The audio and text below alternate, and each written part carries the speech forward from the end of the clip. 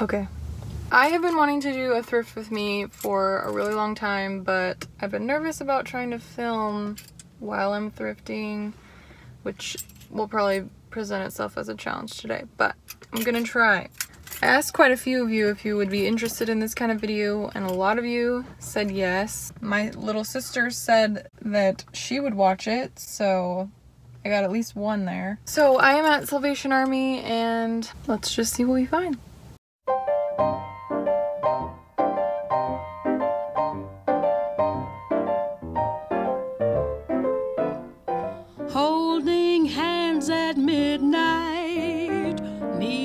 Starry sky. Nice work if you can get it, and you can get it if you try. Strolling with the one boy, sighing sigh after sigh. Nice work if you can get it, and you can get it if you try. Just imagine someone waiting at the cottage door. I'm in love with someone who could ask for anything more. Loving one who loves you and then taking that vow.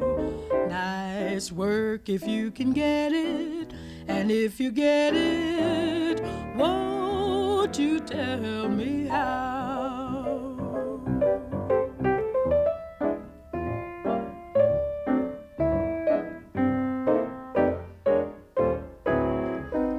Nice work if you can get it, and you can get it if you only try. I just got to a thrift store I've never been to before. We'll see if they have any good stuff.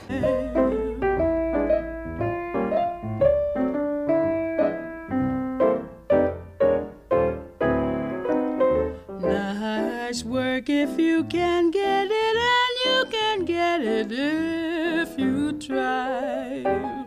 Just imagine someone. I'm back from the thrift store and this is my bag of what I got.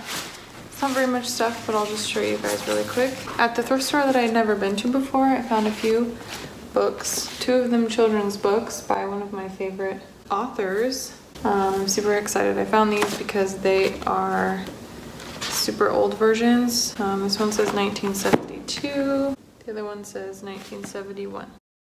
Then I also found this paper airplane book by the artist Peter Max, um, which is super cool. It has just all of these cool art with the folds for paper airplanes. So I'm excited to see. I mean, I'll either just save that in my kid box or um, maybe my husband and I will have some fun making paper airplanes. I also got for things that are not clothes, three candlestick holders. If you follow me on Instagram, you know that I'm collecting these for Christmas.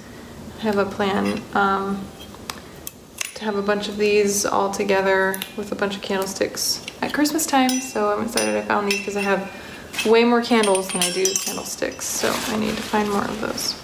So now for clothes. First were some Levi's that are a tad big on me. I haven't decided yet if I'm keeping them for myself. I really love the wash of them though. Um, they're just like perfectly worn in. Wondering if I could just get away with it, them being a little big. Um, I'm definitely gonna cut the bottoms of them. Not sure how short, but we'll see what happens with these. Next I found this little workout Nike shirt with a faded swoop on it. Um, I'm planning on cutting this. I just got some high-waisted spandex leggings workout pants and I've been wanting to find some shirts that I could either cut or that were already short to wear with them and I think I'm gonna do that with this. Then I found this striped kind of blouse thing. I really love the pattern but I'm still I'm still a little iffy about whether or not I'm gonna wear it. I'm a little worried that I won't but I think it will be really cute with some jeans or for church with just a simple skirt. I don't know, we'll see how often it gets worn. Hopefully Hopefully it does. The last two things I found were at that thrift store that I um, had never been to, which was just a simple um, ribbed white shirt, which I I have this red dress that I had thrifted not that long ago and had altered that I think this will go well with. And then I found a black one, which I'm super pumped about because the sleeves are super long and I don't like my arms very much, so I, I prefer having longer sleeves that kind of cover the arms. So that was it. It was fun, and if you guys are still interested and want more, then I will continue to do them in the future. Thank you for watching, and hope you enjoyed, and I love seeing what people thrift, so tag me or send them to me on Instagram. If you don't follow me on Instagram, you should, so that's where I am most of the time. Okay, bye guys.